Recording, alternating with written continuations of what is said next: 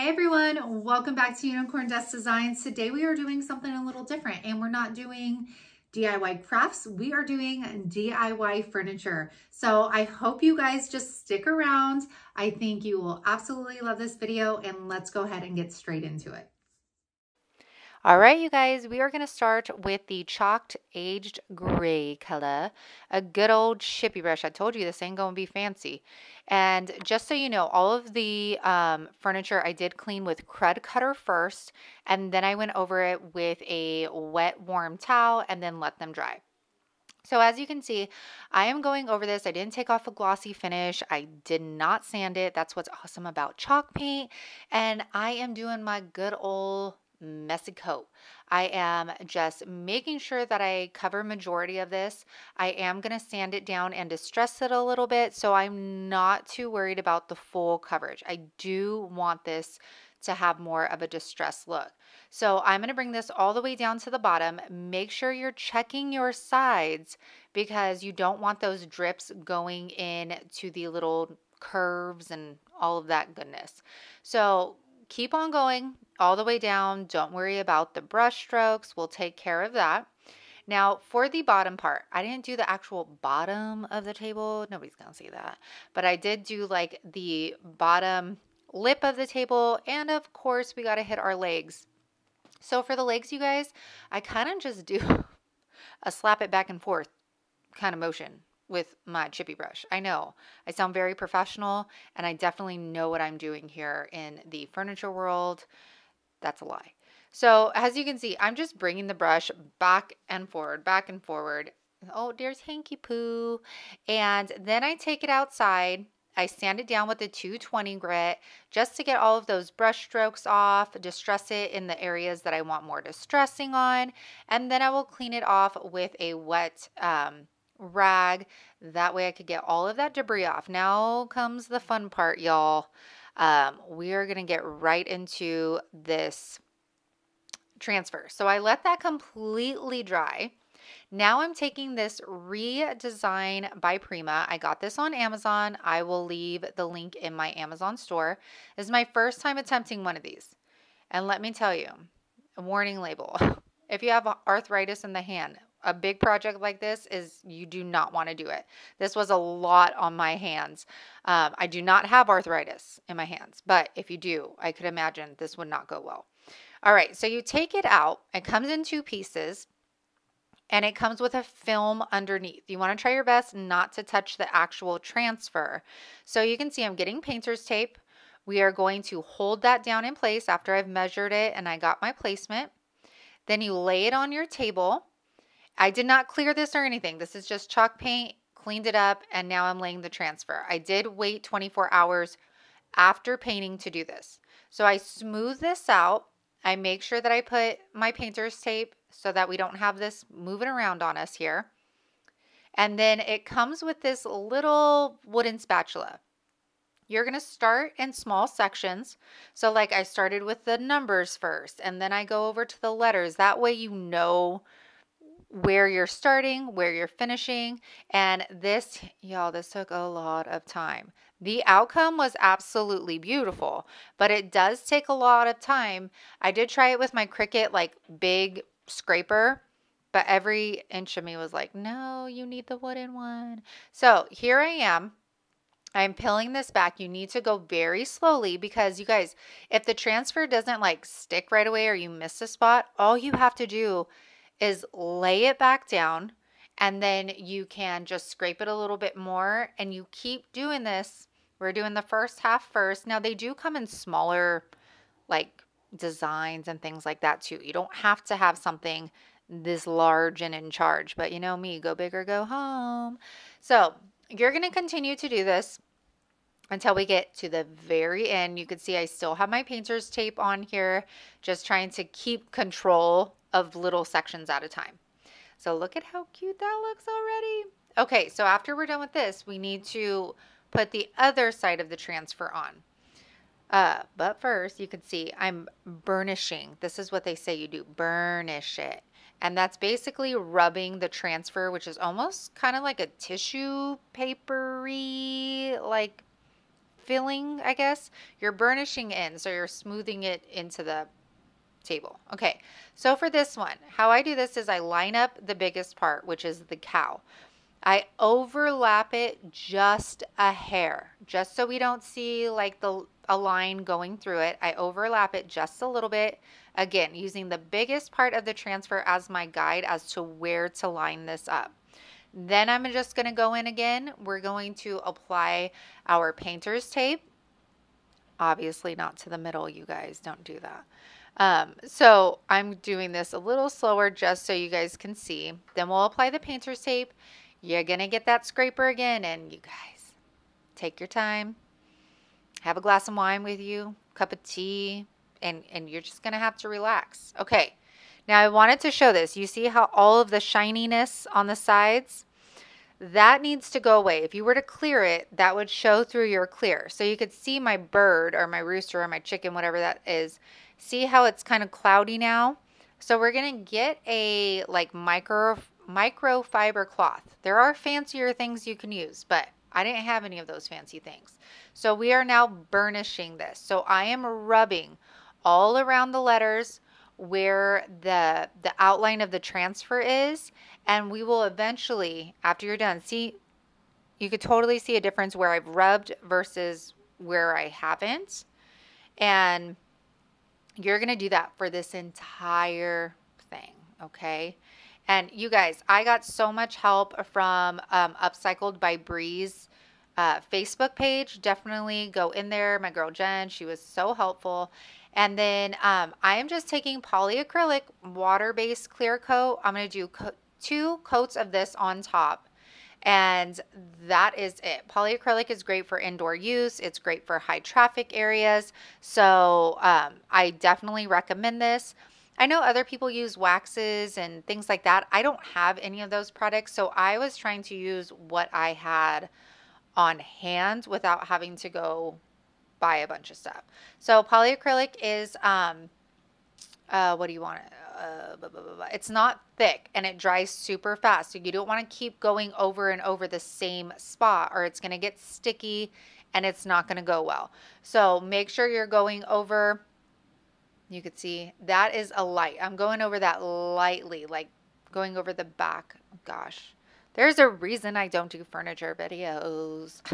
Let me know, you guys, if you like these. And this is the outcome. Sorry, I had put it in my booth. Didn't have it all set up yet, but it looks so gorgeous in there. The transfer is absolutely stunning and you don't see any of that shiny residue on it whatsoever. So I highly recommend this. Again, it's kind of a lot of work, but I will say it is definitely worth the work. So this is for sale my booth. All right, that was the first furniture flip in this video.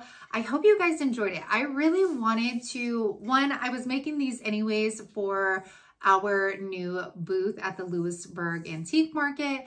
And I was like, you know what? I might as well film it because I don't have like the supplies yet, or maybe I never will, um, that are, I don't know, I guess you could say like higher end. Like I don't have fancy paintbrushes. I don't have fancy paint. I don't have fancy tools. I mean, none of that stuff. Like I am just super basic with the furniture. So I wanted to show you guys how you can make or flip old pieces in your home or maybe that you find on Facebook Marketplace or thrift stores or garage sales and how you can do it using things you probably already have around the house. Um, with the exception of the redesign by Prima. I actually bought that a while back to use on something for our house and never used it. But you guys, I hope you guys are enjoying these. I hope it inspires you to flip some old furniture, find some old furniture, and just have fun with it. So with that said, let's go ahead and get into the last two furniture flips. Have a good one, you guys. Okay, here is our next one. I've had this, you guys, sit in my garage for I do not know how long. It was $5. I did pre-sand it. And now I am, again, cleaned it with Krud Kutter, sanded it, and then I uh, cleaned it with some water. So now I'm just taping this off because I do want to keep the sides their natural wood color. I I love that and yeah, as much wood as I could save, I will. Now taking my Rich Black by Folk Art and my little mini sponge roller, um, I'm going to go ahead and coat the tops, the sides, and the little like panels that are underneath. Everly picked me a flower. So sweet, my little girl. And um, we're going to do that for the top. And I don't know, I must have cut it out, but there's the uh, the shelves I painted. You guys don't get to see that, but I took this brush and I did get the creases of the shelf, like the sides, and then I went over it with the sponge roller to get a nice smooth finish. You guys can tell I got dressed for the day and I'm looking super fancy as always. You are welcome. So you guys, I'm going to go ahead and finish that up. I only had to do one coat of this. The Rich Black Folk Art Chalk Paint is phenomenal. So I'm going to go ahead, I'm going to bring this to my house because it's getting humid. And then after it fully dries, I am using the uh, Rust-Oleum Matte Chalk Clear. They're clear stuff. I haven't used this in a long time and I was very skeptical about it because one, it's a lot thicker than like polyacrylic or spar urethane. But I will say this actually gives it a true matte finish because polyacrylic says matte on there. There is a matte version, but when it dries, it still gives you kind of like that glossy look, kind of like matte Mod Podge does. This gives you the matte chalk paint finish. So I actually really liked it. It clear, it dries down clear. So I really like this. It does say to apply it with a synthetic brush, which I did, and it came out really good. So after coating this, Everett had just woke up. I was up at 5.30 in the morning doing this, you guys. How to get it done. All right, so again, make sure you get these sides really good and any of like the little details you see that really like white, make sure you clean that off or else you're going to have that dry and it's going to be a cloudy glob of a mess here. So after I'm done doing that, I do do two coats on the shelving in the top. Now I'm taking Antique Oil Finish, so just a, a wood oil, and I am just bringing this to its natural state. I love this because it was you can tell it was handmade. On the other side, there are like the imprints of the hearts where the person making it was like trying to figure out where they wanted to place it. And little things like that, I feel like add so much character to a piece. And I love that. And I love the natural wood. I think it's awesome that these are the pieces that are still around, the things that were handmade. Isn't that crazy when you think about it? I mean, really. Um, so, you guys, this is how it looks. It is in my booth for sale. I love this. And it took me a long time. This has seriously been our garage. Look at the little desk, too, that matches it. Oh my gosh, it's so darling. Okay, so this is our last one. Now, I I found this at the antique market, you guys, okay? But I had to have them. So the the bigger one I think I bought for 16, the smaller one is 14. Now these have these were handmade. Like if you can see the bottom of these, somebody handmade these in their garage. They are so awesome. They have like cup rings on them. They're just so old and I I love that about these pieces. I love that you can take I don't know. I sound crazy, but Anyways, let me let me let me tell you what I'm doing here. Okay, I'm dropping the tape measure. So I'm trying to find my middle point here. I cleaned this with Krud Kutter. I did not sand it or nothing. I just cleaned these tables off really good. We tightened the legs. We put some wood glue um, on any like little cracks and stuff. And then now I am using my painter's tape and we are going to create some lines. So you can see I have my, I think that one's two inches thick or one and a half inches thick. And I'm using that as my guide to um, straight lines. Okay, so I have those two. They looked not straight though. I was better eyeballing it than using the actual tape. Okay, so now I'm going to get another piece. This is smaller.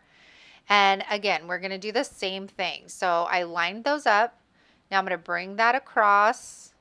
And that's just guiding us so that we have the same like spacing. And then I use this really thin one. Ooh, I love it.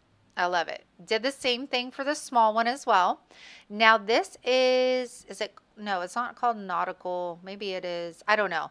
It's by Rust-Oleum. I will link it in my Amazon store for you. I just picked it up at Walmart. Walmart is selling Rust-Oleum now, you guys, and it's cheaper than the hardware stores. Um, so I'm going to go ahead and do two coats of this here. And I love this. I loved the rings on the table from Cups. I loved the just I mean, look at it. It's original. Somebody used this and they loved it and they built it by with their own hands. It wasn't manufactured somewhere. And I ended up labeling these in my booth as uh, dad's garage tables. I just I thought they were fun. So again, using that same chalked matte clear and my synthetic brush, I am giving this a clear coat. I do two on the top since it's a table and people will be using it. And I love the way these turned out. I don't know if y'all love old stuff, but I do. And I just wanted to show you guys, like, there are so many pieces that are probably in your home or you see at garage sales or thrift stores that you can easily turn into home decor. Like, this can fit with modern farmhouse. It could fit in a trendy apartment in New York. I mean, it it's endless, you guys. And you can see right here, they turned out so great. Look at the rings on the table. I don't know why I love that. I don't know why I love that. This, the top table was definitely like a side table with a shelf on it at one point, and we gave it new love. So I hope you guys enjoyed this video mm, and enjoy the bloopers. Bye. That's okay. Who needs a head? Oh, man. Like the biggest dog slobber ever. Oh, and it has grass in it. And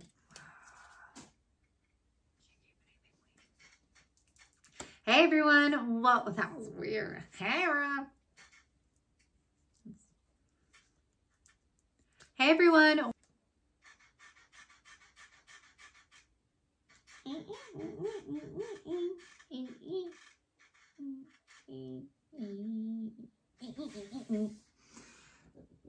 no. How cute that is.